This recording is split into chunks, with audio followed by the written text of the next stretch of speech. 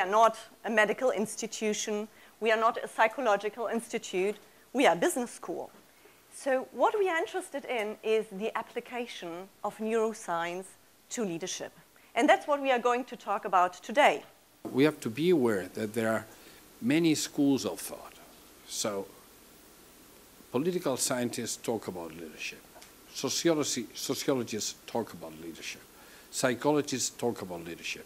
So to some extent, what we're starting here is to see what, what new angles can we research to understand better what, is, what are the basics of it, what, is, what are the infrastructures.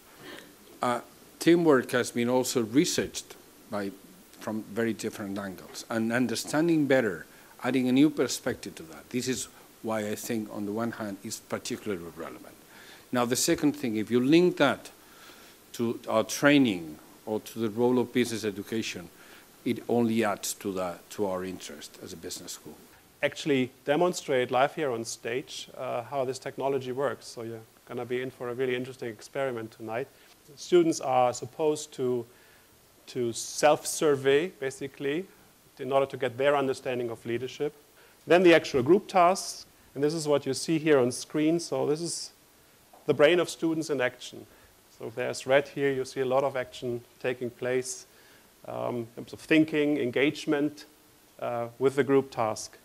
Uh, studies and literature around um, um, neurofeedback, basically. So you could use this method potentially to enhance the leader's ability to become a better leader. But that's the future. It might be something for the future. This is possible, in essence, if you know what you're trying to enhance. I've dealt with all kinds of leaders from a, number of industries, from government, in a number of different countries. And sometimes when I talk to leaders, and sometimes, like, for example, in 360 feedback processes, sometimes I get the feeling like, wow, this guy or this gal really has it together. They know what leadership is all about. They are inspiring. They are visionary. They've got passion for what they do. All the things that we, they have integrity. The things that we tend to associate with good leaders. And then there, then there are other people, and I ask myself, what in the you know what is going on in their heads? What is it? Now, it used to be that it was always a figurative thing for me as to what's going on in their heads. And so finally, this technology came along, and now, literally, I can ask this question What's going on in their heads? Maybe there's something there. We are used to being in control first thing you have to learn about neurofeedback is the brain is in control and not you.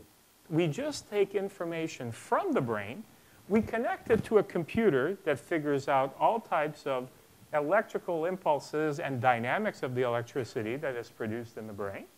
We can take a look at something called transformational leadership, differentiate people that are terrible leaders from people that are exceptional leaders, figure out what a mathematical formula of the brain is like, and actually pretty much take somebody's brain map and identify them on the scale by only using uh, basically EEG.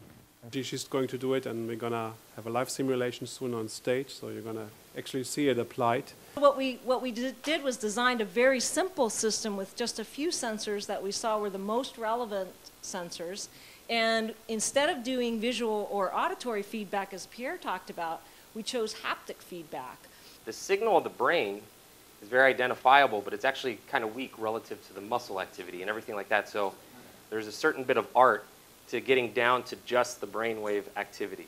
What's kind of important to understand is there's not a whole lot of plug and play solutions or metrics or anything that you can just immediately take from one research application to the next you kind of have, that's part of the fun of it. You got to figure out what's important here. Um, what do we need to do in order to give some meaning to it? And as Pierre said at the beginning of the week, which I think he said so well, we, we started this whole project to come here and record all of these groups, these group of people who don't know each other, who don't have assigned roles, and then kind of see how they interact with each other. I think what you have seen is that uh, we are deep into real science. you know, it's not just applied science in a way of uh, educating our future leaders, but this is actually combining real science, neuroscience, with uh, the purpose of enhancing and developing our future leaders.